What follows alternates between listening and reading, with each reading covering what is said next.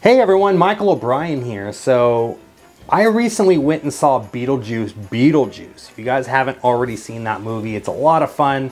And the movie theater that I went to is actually giving out um, these uh, little pamphlets with your ticket purchase. That's pretty cool. Um, it looks like a um, handbook for the recently deceased, but uh, what it actually is is it's a business card case, and inside they give you some of these uh, little novelty business cards. Let me see if I can kind of give you a close up to it. It's pretty cool, right? Uh, it says uh, Betelgeuse, the Bio Exorcist. And of course, you have to speak his name three times to summon him.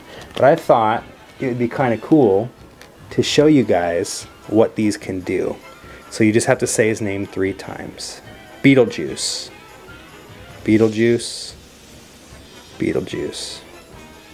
And when you do that, one card slowly rises out of the pack just like this.